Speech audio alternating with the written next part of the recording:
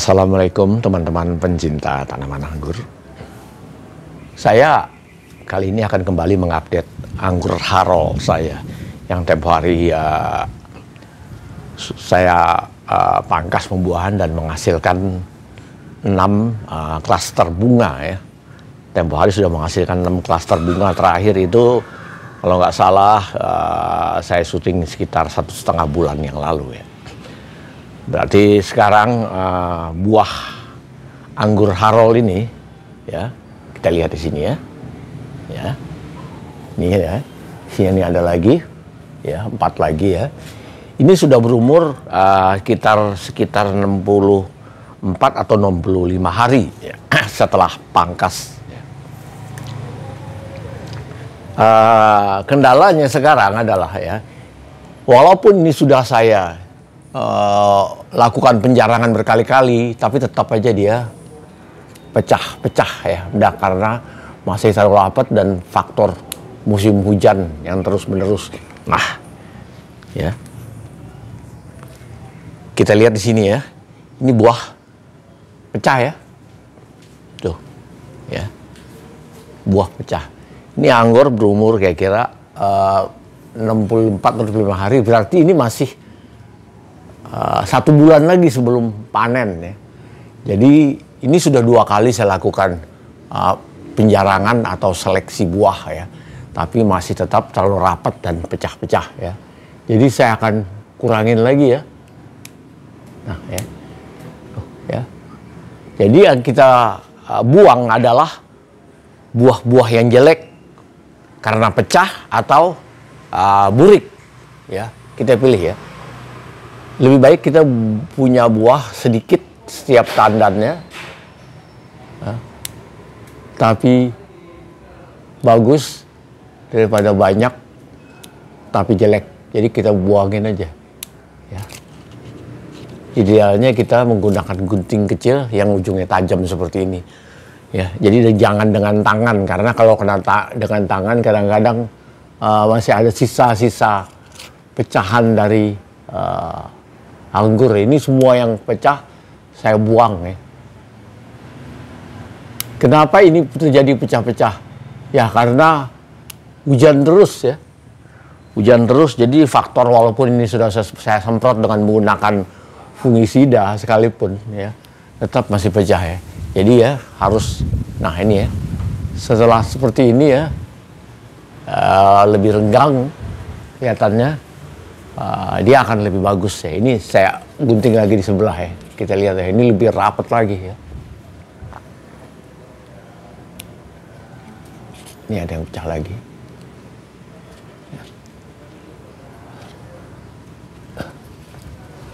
Dia berdesakan dan pecah ya.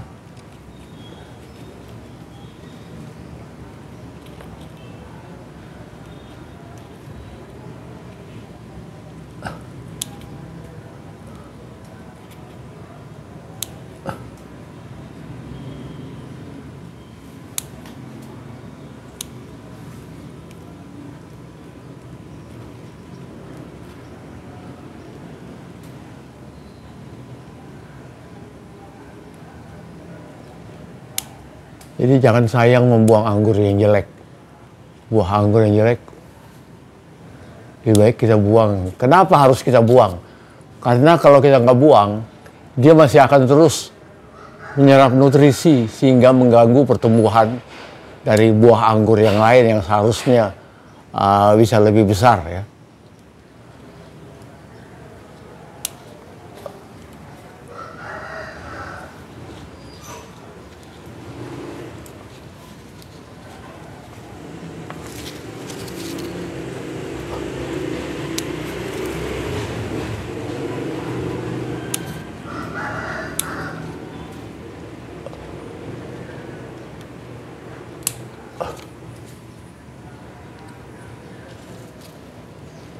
Ya, ya.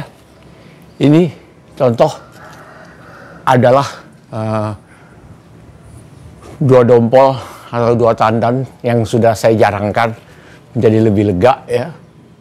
Dan uh, mudah-mudahan masih bisa bertambah besar lagi ya. Di sini masih ada tiga lagi, ya. Ini uh, akan saya jarangkan juga, akan saya buang buah-buah yang jelek dan kecil ya. Jadi yang kita uh, pilih adalah uh, buah-buah yang lebih kecil atau lebih jelek, ya. Jadi ini video saya hentikan dulu, nanti saya sambung lagi dengan uh, ketika sudah selesai supaya uh, tidak terlalu panjang waktunya. Nah, ini ya. Ini tadi sudah saya lakukan penjarangan, saya buang kira-kira sekitar 30% ya. Di sini juga ya. Ini sudah saya jarangkan ya. Jadi sekarang nggak berdempetan, nggak terlalu berdempetan lagi ya hasilnya. Ya. Nah, kita harapkan nanti uh, buah ini masih bisa bertumbuh menjadi lebih besar lagi ya karena masih ada waktu satu bulan uh, sebelum panen ya. Uh, jadi uh, daripada kita memelihat, membiarkan buah yang kecil-kecil nanti berjempet-jempet terus semakin banyak yang pecah lebih baik uh, kita buang-buang aja semua bunganya.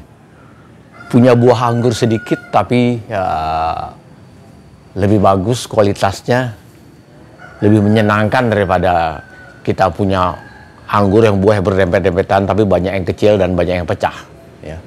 Jadi uh, faktor pecahnya buah anggur itu itu banyak. Di antaranya adalah karena udara terlalu lembab, hujan terus-menerus ya, dan uh, jamur ya. Ini sudah saya lakukan penyemprotan ya anti jamur di pohon ini ataupun uh, buah anggur ini ya uh, seminggu sekali. Tapi jamurnya tetap masih ada sisa-sisa sedikit-sedikit di daun di mana ya uh, dan di buah ya. Jadi karena itu kita harus rajin mengontrol ya. Alhamdulillah di sini uh, tangkai buah bersih ya, nggak ada kelihatan berjamur ya. Ini tangkai buahnya lumayan bersih ya. Biasanya kalau sudah parah jamurnya tangkai dari buah ini putih-putih semua ya. Semuanya putih-putih dan uh, berjamur ini tangkainya mulus ya. Hanya sedikit ada bercak-bercak di buah yang masih sisa. Kita lihat nanti kira-kira uh, dua minggu lagi apakah ini uh, masih harus dibuang lagi atau kita tinggal tunggu aja sampai panen satu bulan lagi. Nah, buat teman-teman pencinta tanaman anggur, jadi uh, penjarangan atau seleksi buah anggur ini dilakukan uh, banyak faktor ya yang uh, kita uh, apa namanya yang menyebabkan kita membuang sebagian buah anggur ini. Pertama, uh, mencegah anggur berdempet-dempetan, ya, sehingga uh, jamur makin subur tumbuh. Mencegah buah anggur makin banyak yang pecah karena mereka saling berdempet, dempet satu sama lain. Dan juga kita mengharapkan buahnya bisa menjadi sedikit lebih besar lagi karena uh, dengan buahnya jarang dia punya space untuk menjadi lebih besar dan nutrisi jadinya uh, bisa uh, lebih banyak diserap oleh buah-buahnya yang sekarang sudah menjadi lebih sedikit daripada buahnya yang banyak.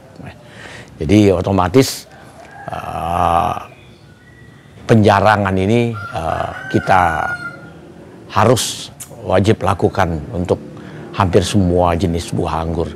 Kalau di negara-negara seperti di Jepang, mereka itu uh, malah mentargetkan uh, satu tandan buah anggur itu nggak akan lebih biasanya dari 40 butir buah anggur ini supaya uh, buah anggur itu menjadi besar-besar ya. Nah, di sini kita nggak menghitung berapa butir ya, karena anggur Harol ini kebetulan kan tidak emang buahnya tidak terlalu besar ya tapi masih bisa sedikit lebih besar dari ini ya seharusnya ya. Ini sekarang masih agak kecil-kecil ya. Oke, mudah-mudahan dengan penjarangan ini uh, kita bisa mendapatkan buah dengan kualitas yang lebih baik. Sampai ketemu lagi.